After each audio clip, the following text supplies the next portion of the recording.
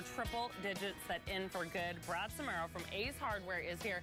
He brought so many things today. Good to see you. Nice to see you again, Destry. I brought, in fact, I brought a new friend with me today. I, brought, I was wondering what this was. I brought Purple Energy. That's the color my daughter selected for her bathroom.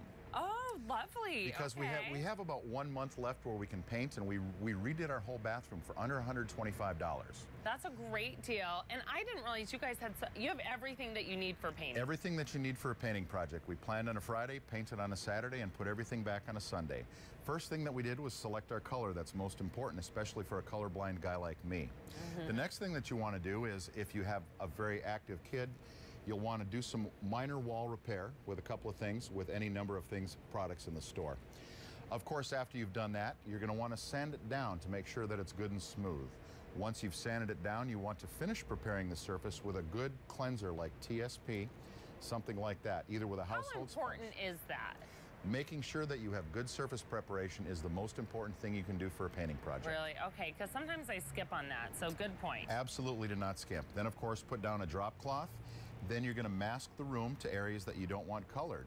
I always use a two inch brush, something like this at an angle for cutting or for doing the trim. It makes it real easy. And then, of course, for the gadget-oriented, what you have in your hand there is a corner roller yeah. for making sure that you get a good trim in the corners. Yeah, it's great. They have so many different things that you can do. I mean, this is a corner one.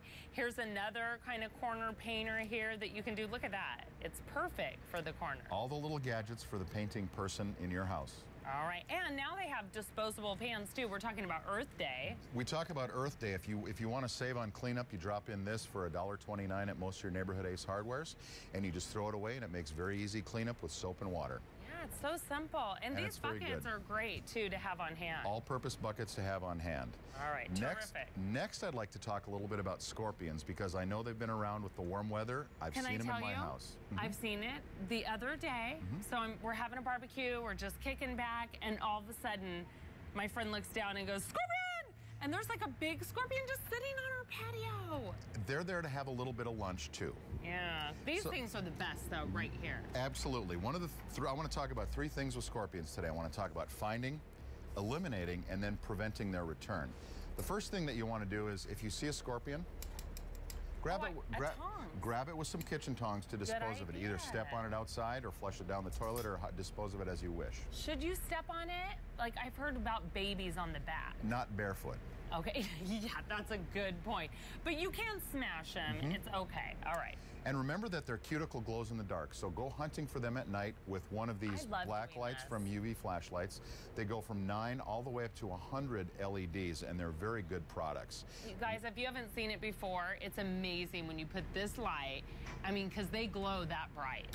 When it, when it becomes really warm in your attic, they're going to look for cool, moist places downstairs, like under your sink, in your laundry room and things like that. So those are going to be the places where you might find nests. All right. So there's a couple of things that you want to do. For example, you want to first of all fix leaks uh, in our plumbing department like that, but then you also take, take a look at something like grate foam, which is going to seal the cracks and crevices around your, around your neighborhood place.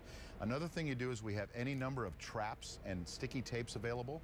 Put one of these in the corner next to the door or behind, the, behind the cabinet. And if you're very creative, put a cricket on there because the scorpions are going to love to eat the crickets. Yeah, and that's the thing too. Control the bugs, control the scorpions. Can, absolutely, that's one of those things. Then we have some kill on contact things like this product from Terro. And then another thing that you can do sprinkle outside your house is this green light, uh, might, uh, green light many-purpose dust that I use around my own home. Oh, okay. Then I've got this diatomaceous earth. That's a real mouthful, but it's really good. There's silicon dioxide in this and also some bait to attract the scorpions. It gets under their exoskeleton and it basically cuts them and they'll die within a couple of hours. All right. What you'll want to do then is prevent them and you take a real high test thing uh, available at most of our Ace Hardware, things like that, and you mix it up in us and you go on from there.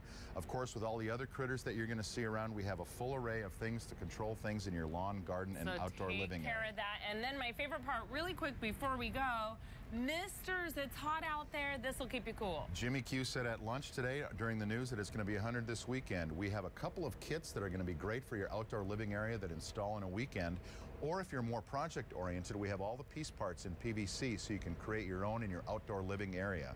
One of the things that we did at my neighbor's house is we took PVC, And we planned on a Friday, we installed on a Saturday, and all the middle school parties are now at my neighbor's house getting rid of my ball. I love it. It really helps. AceHardwarePhoenix.com slash DIY for more information. Don't go away. We have a lot more to come here.